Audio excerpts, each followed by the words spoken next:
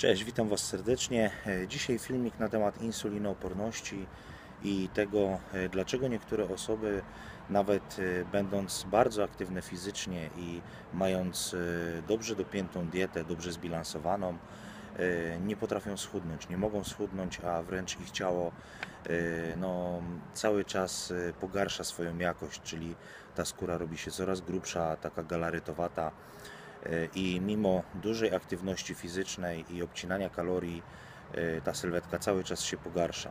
Może to być powiązane właśnie z tym, że te osoby mają insulinooporność. E, Co to jest? Jest to mm, takie działanie naszego organizmu, że trzustka produkuje cały czas za dużo insuliny. E, I e, mimo tego, że mamy pewne y, źródła węglowodanów w diecie dobrze dobrane i ich y, podaż również wydaje nam się jest dobrze dobrana, no niestety tak się nie dzieje. Nasz organizm zupełnie inaczej reaguje na każdą podaż węglowodanów y, i właśnie to jest główną przyczyną insulinooporności. Zaburzony zostaje jakby taki schemat y, prawidłowego działania naszego organizmu.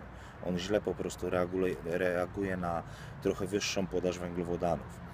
Y, Co, co się dzieje, jak to w ogóle zdiagnozować? No, najlepiej byłoby udać się na badania cukru i krzywej cukrowej i insuliny rano na czczo, poddać się takiemu badaniu, pobrać właśnie próbki krwi i zrobić test obciążenia glukozą. To znaczy, że wypijamy na miejscu jeszcze e, w miejscu pobrań y, 75 gramów glukozy e, i robimy kolejne badanie po godzinie. Również pobieramy krew, e, badają nam e, poziom insuliny i poziom cukru.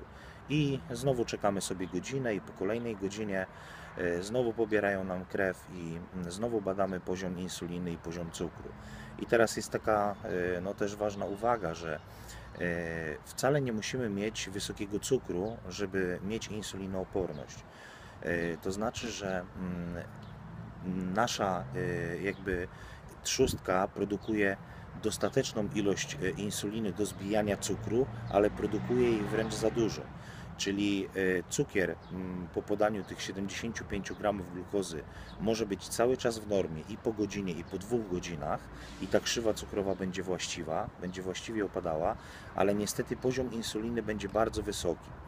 E, Z czym to się wiąże? Wiąże się to z tym, że w naszym organizmie najprawdopodobniej jest e, zablokowany hormon, który się nazywa glukagon. Jest on e, odpowiedzialny za e, przede wszystkim metabolizowanie tłuszczu, za spalanie tkanki tłuszczowej, e, czyli pobieranie energii właśnie z tkanki tłuszczowej.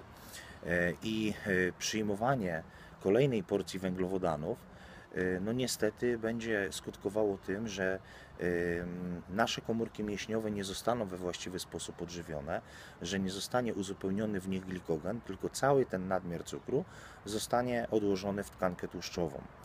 To jest taki no, bardzo ciężki przypadek, gdzie y, osoby z insulinoopornością właśnie bardzo ciężko trenują, trzymają dietę na y, pewnym pułapie węglowodanów i te węglowodany właśnie im szkodzą.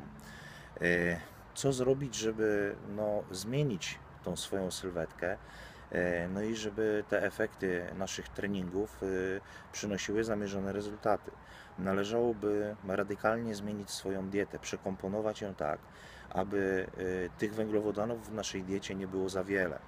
W zależności od tego, oczywiście, jaka jest aktywność fizyczna, ile ważymy, jaki prowadzimy tryb życia, e, jak mocno stresujący mamy tryb życia, e, tych węglowodanów w diecie nie powinno być więcej jak 50, maksymalnie e, 100 gramów. Oczywiście osoby bardzo aktywne fizycznie będą potrzebowały ciutkę więcej, ale tutaj każdy przypadek należałoby rozpatrywać indywidualnie i nie ma jednego e, dobrego schematu, żeby e, zobaczyć mm, jaka dieta e, w doskonały sposób od razu zadziała.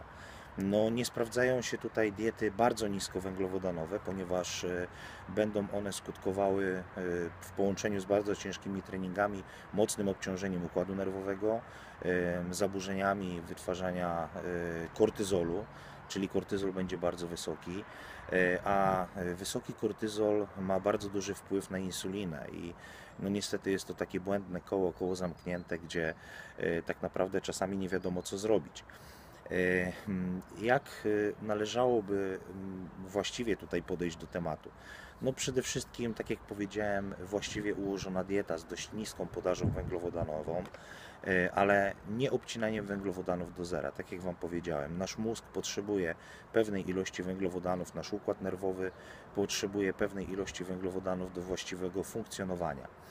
E, mm, Z takich no, suplementów, które mogłyby nam pomóc, e, e, oczywiście przy już dobrze ułożonej diecie, e, która będzie obfitowała w większej ilości w białka i w dość sporej ilości w tłuszcze, bo przecież te, ten deficyt kalorii, który nie zostanie uzupełniony z węglowodanów, powinien być uzupełniony z różnego rodzaju źródeł tłuszczów typu oliwy, różnego rodzaju oliwa z oliwek, jakieś tłuste mięsa, właśnie wtedy one się bardzo dobrze sprawdzają, podroby, wątróbka, e, takie, tak jak mówię, bardziej tłuste rzeczy.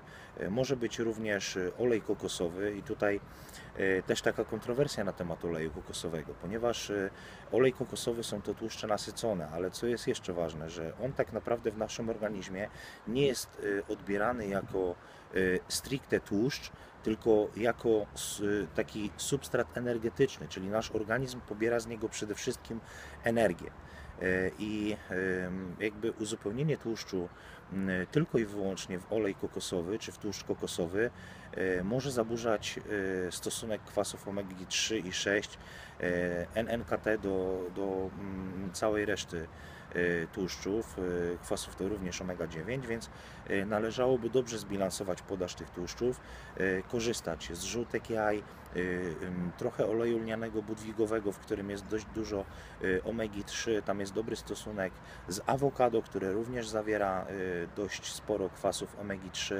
oliwę oliwek, oliwy z oliwek, także takie, taka różnorodność tłuszczu powinna znaleźć się właśnie w diecie osób z zaburzeniami wydzielania insuliny, to znaczy z insulinoopornością.